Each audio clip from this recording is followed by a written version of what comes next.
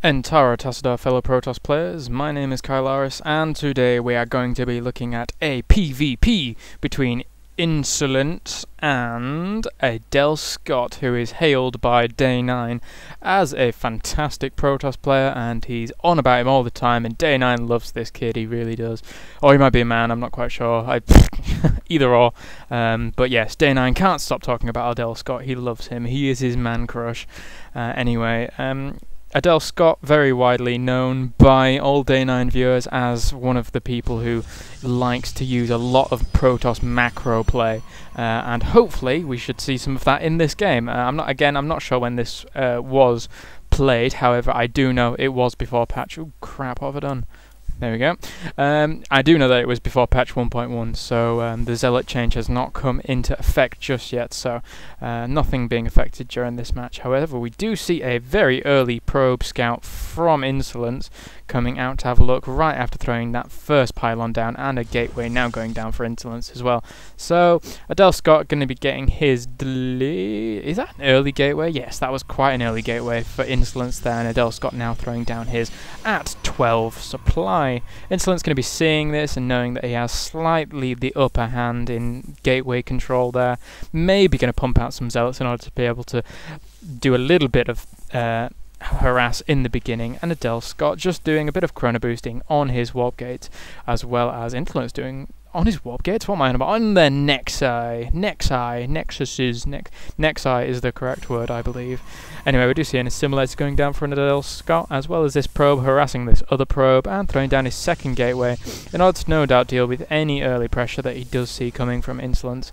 And uh, Protoss versus Protoss games are always very hard for me to cast since I'm having to focus mainly on both of the players, and we do see now Cybernetics Core going down for Adelscott as well. And at this point, uh, Insolence is very, very far behind on the production. We do just see now his uh, Cybernetics Core going down, but Adelscott has already got her second gateway in production, as well as that Cybernetics Core halfway finished, whereas Insolence is, is only 25% finished. Don't crunch my tralala. Very nice, Adelscott. That's pretty cool.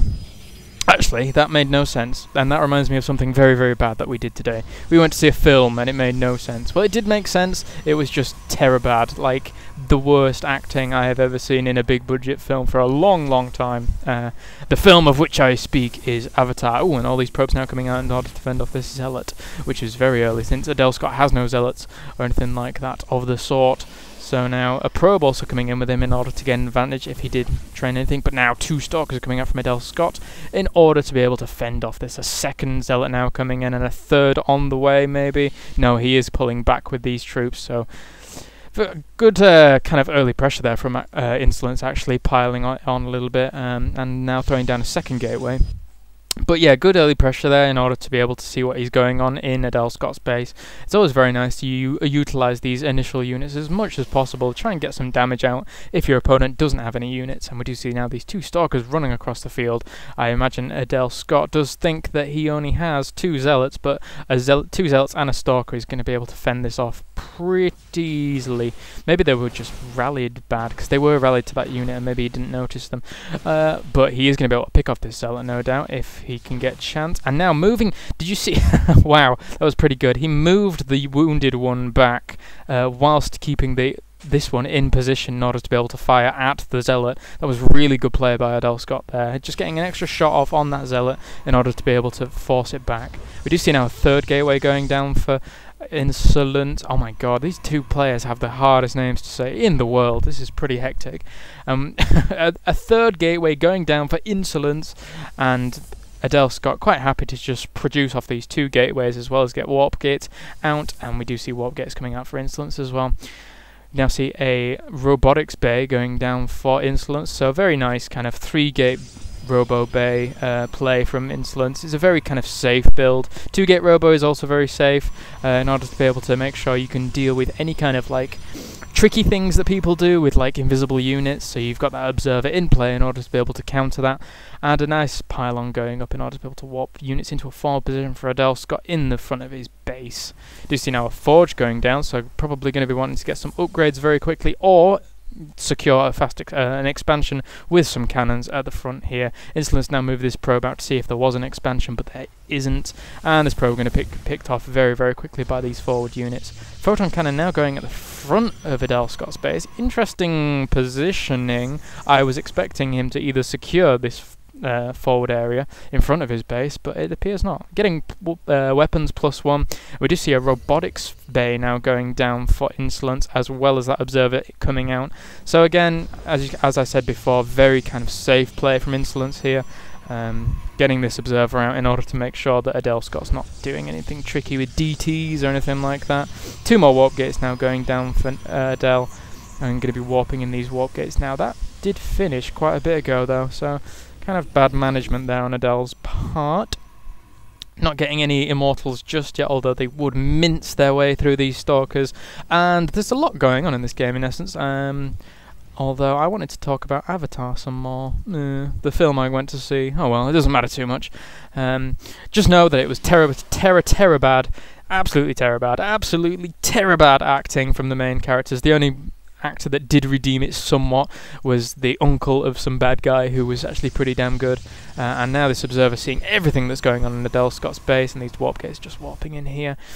Do see now a Colossi, and the Colossi number one coming out for Insolence and not getting this range upgrade just yet. They don't necessarily need this up range upgrade if you micro them properly and now pylons going down in nice positions for Adelscott in order to be able to scout every single corner of his base effectively, and a Twilight Council now going down for Adel. I'm surprised neither of these players has tried to kind of expand yet. We're approaching the 10 minute mark of this game, and neither has even hinted at expanding. So, oh, although we do see Insolence throwing down a pylon here, maybe in order to secure what could be an expansion at this position here. And now moving out with this first Colossus, going to give him a slight advantage against this ball of units. Although, that being said, I would like to see Adelscott get Blink, and he is getting Blink indeed. Sorry, I didn't look at that production tab, but and he's also getting ground weapons level 2 as well. So, going to be in a nice position in my opinion.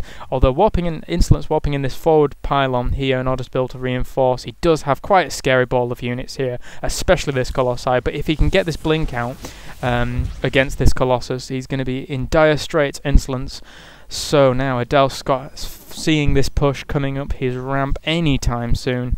Uh, although nice positioning of these zealots, he's going to be trying to capture as much as he possibly can with this sentry and warping in a few more stalkers in order to be able to rain down the pain. Although he does get the sight of this high ground and he is now force fielding in a strange position. Oh, that was Insolence's force field, and Adele did try to force field, but these Colossus are going to be able to walk over those force fields no problemo since they are massive units we do see now this oh the sentry went down.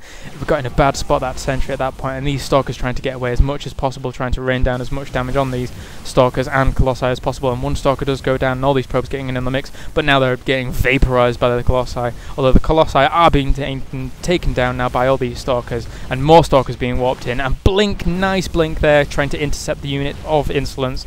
And even though he's lost all his probes Adelscott is in a position of power taking out all these units, he's going to need to make a counter-attack really fast as he has no income at all. So this is going to be a, a race to the finish for Adelscott at this point. He cannot get himself back into this as unit production goes, so he's going to have to get up to the opponent's base as quickly as possible, and that is exactly what he's doing. He's going to be moving up here and trying to take out what pylons he can, but an immortal, very nice choice by Insolence there. I need to breathe, and oh, we see a lovely blink there across the units, and he's going to be taking out these units, trying to take down the immortal. He needs to take down the immortal as it's shredding through all these stalkers and he's now warping in a few more zealots in order to be able to try and deal with this. But seven stalkers are going to be able to rip apart these uh, zealots. He needs to take out the production ability of insolence, and these probes running away now, whilst he is producing another immortal and trying to warp in some more stalkers and zealots in order to be able to reinforce this position. All these probes now charging at these stalkers in order to be able to try and fend them off. A nice blink there, moving away from these pro uh, probes, and now oh, all these uh, buildings are now underpowered from Adelscott. So uh, all insolence probes uh, buildings are unpowered. So now trying to pick off as many probes as possible, keeping away from them as they will do a lot of damage if they get surround on these stalkers. This is crazy, ladies and gentlemen. So now we see a lot of stalkers moving, trying to kill all these probes, doing a very, very good job kiting this this Immortal here is badly wounded, trying to get a few shots off on these, and getting really big shots off on them. This oh, Immortal does go down though now, so five Stalkers to these probes, and if he can take down these probes, he's going to be in a really good position as Insolence to not warp in any more units. See, that Stalker did get surrounded, and he's now just microing back, and I think Adelscott does win after the GG from Insolence. A bloody close game there, ladies and gentlemen, but we do see Adelscott is the victor. So thank you very much for watching that, guys. That was a bit more entertaining than the normal PvP uh, shit 4gate 4gate that we normally get, but it was good. So yeah, uh, thank you very much for watching, guys, and I will see you guys next time. And uh, next time I'll rant about Avatar because it was rubbish. Ha ha ha.